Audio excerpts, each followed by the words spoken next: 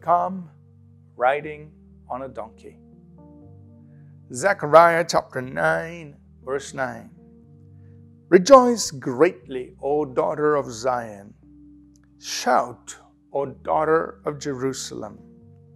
Behold, your king is coming to you. He is just and having salvation, lowly and riding on a donkey, a colt, the foal of a donkey. Another amazing prophecy foretelling the coming of the Lord Jesus Christ. Zechariah foretelling the king who, who comes to Jerusalem. He says, Here comes a king. This is your king, O Jerusalem. And he's bringing you salvation. He's, he's just, he's fair, he's righteous. Here comes your king. And then Zechariah points out and says, This king will come, but he's coming riding on a donkey. He's coming riding on a colt, the foal of a donkey, a young donkey. He's coming riding on a donkey. And you and I know in Matthew 21, as Jesus came into Jerusalem just before his coming, he told his disciples, Go into the city, you'll find a young colt which no one has ridden on yet. Bring him to me. And Jesus actually entered Jerusalem riding on a colt, a young donkey. And whether people understood it or not at that time, he was fulfilling prophecy. He was fulfilling Zechariah's prophecy.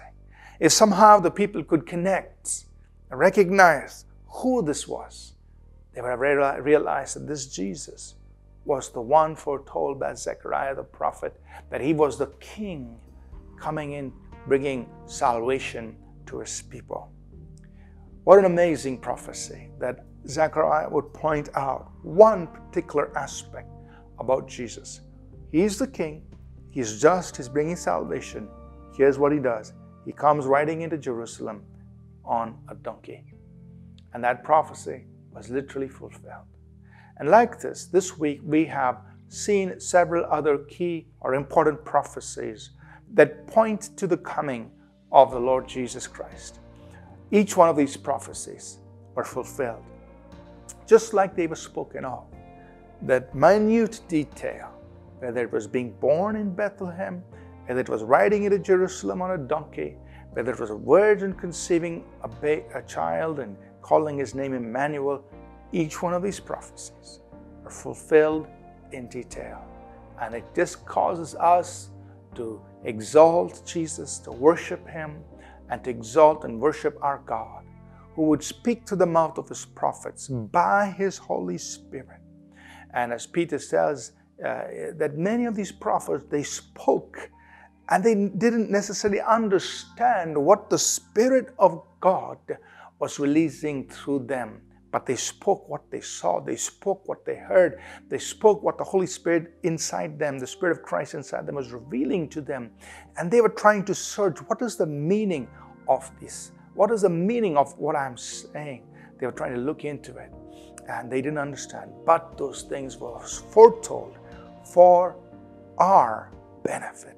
So we could read these prophecies and know for sure that Jesus Christ, the one who was born in Bethlehem, who was crucified, who was buried, who rose up again, he indeed is the one who was foretold and spoken of by all the prophets in the Old Testament. This is Jesus, the one we worship. Let's pray. Lord Jesus, we worship you. We honor you. We exalt you. You are the one who came, who fulfilled all of these prophecies you rose up again. You're alive today. We worship and exalt you. I pray you will touch the lives of those listening, God. Minister to their needs. Break every yoke of the enemy. Release a healing that may come into their bodies and minds. Bless them in every way. Thank you, Lord. In Jesus' name, amen. Thank you for tuning in to Living Supernaturally. For more resources to strengthen your spiritual walk, please visit apcwo.org.